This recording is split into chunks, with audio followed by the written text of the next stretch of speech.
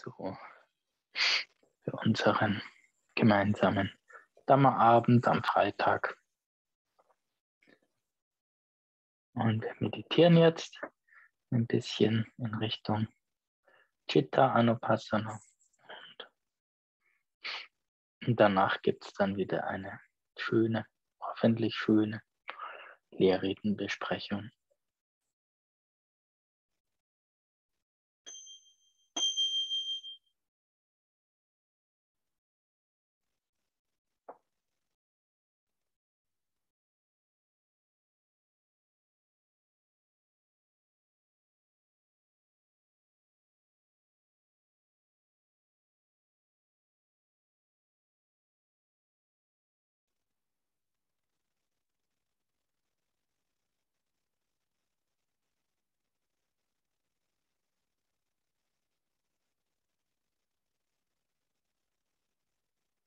Beginnen, den Achtsamkeitsrahmen Körper zu etablieren, indem wir den Atem verwenden, unsere Aufmerksamkeit quasi in den Körper hineinzuziehen.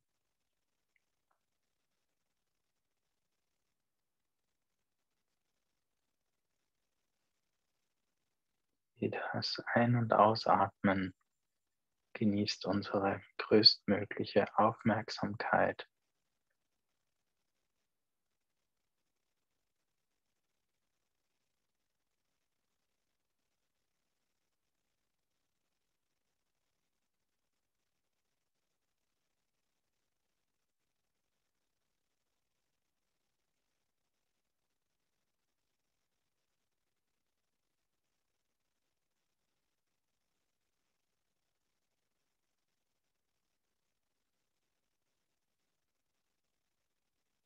Ein- und Ausatmen hilft uns dabei,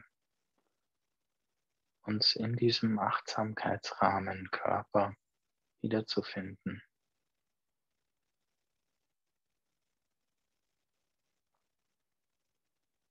Das ist jetzt unser Interessensgebiet. Die Welt, in der sich unsere Aufmerksamkeit bewegt.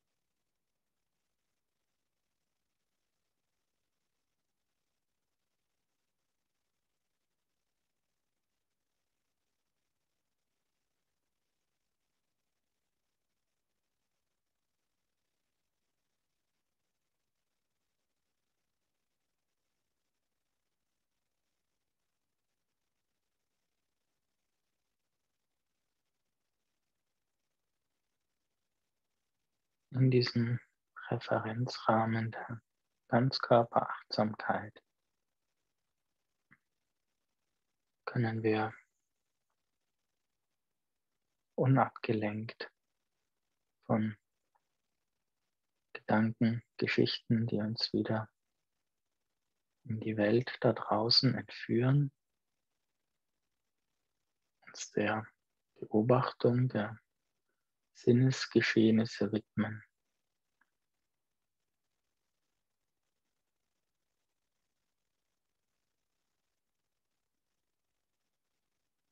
Ständig ist was los im Reich der Sinneseindrücke.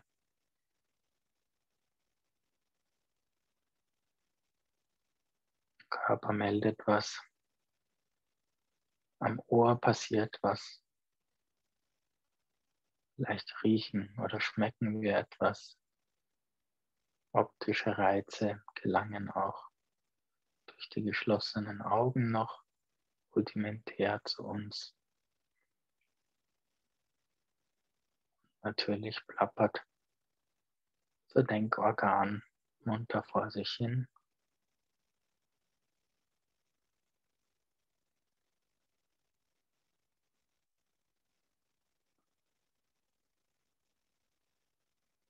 All das kann zum Objekt unserer Betrachtung werden, wenn wir es schaffen, immer wieder auf die Gegenwart zu bestehen.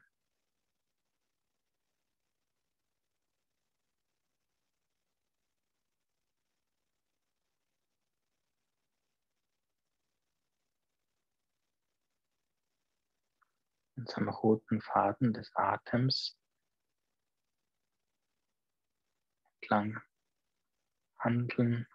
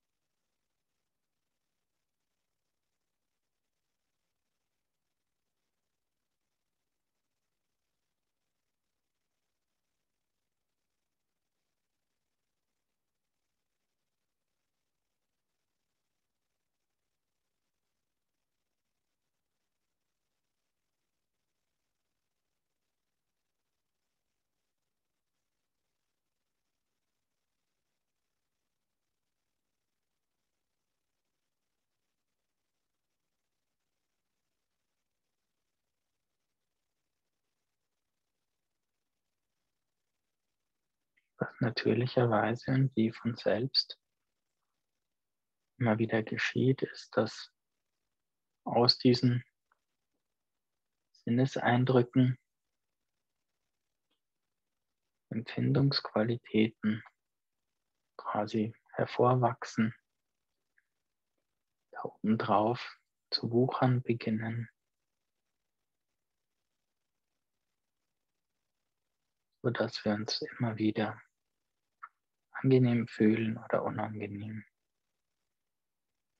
oder undefinierbar irgendwo dazwischen.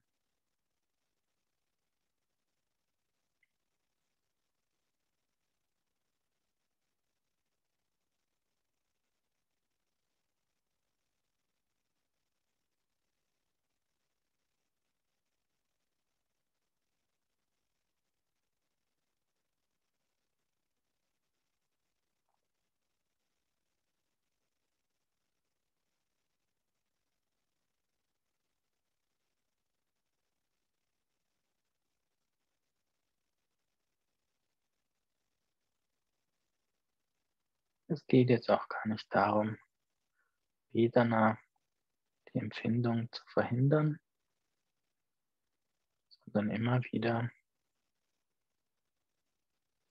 wissensklar und achtsam zu sehen, zu beobachten, was da gerade passiert.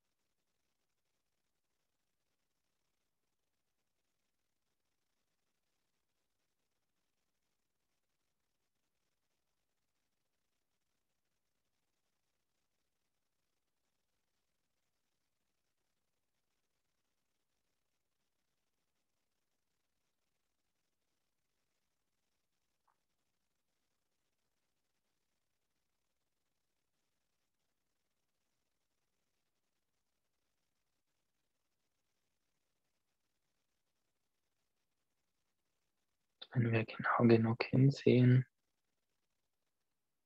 können wir vielleicht auch so einen kaum sichtbaren Schmarotzer, der sich irgendwo im Fell eines Tieres versteckt, mhm. die Geisteshaltung mit zu sehen bekommen, die auf jedem dieser Vedanas drauf sitzt.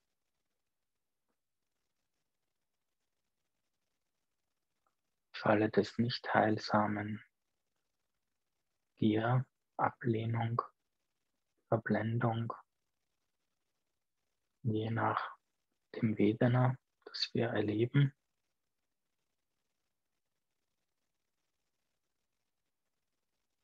Subtile Gier, das Angenehme zu behalten, das Unangenehme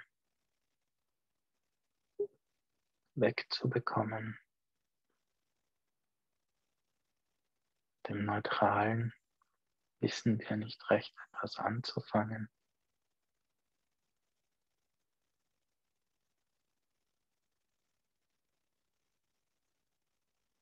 Bleiben im ähm, Zustand des potenziell Reagierens.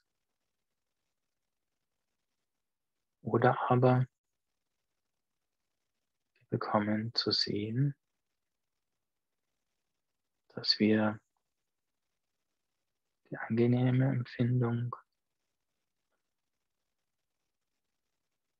ohne Gier gelassen und gleichmütig betrachten können. Unangenehme Empfindung ohne Ablehnung. Die indifferente Empfindung ohne diesen ähm, trüben, dormant, doch wieder reaktiven Zustand der Verblendung.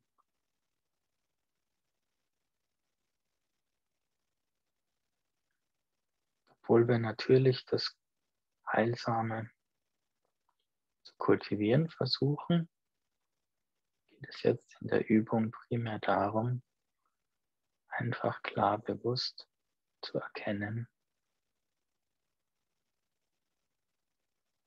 wenn nicht heilsames Geistesverhalten von den Empfindungen ausgelöst wird oder zu erkennen, wenn heilsames, eben nicht unheilsames geistiges Verhalten die Empfindungen einfach geschehen lässt.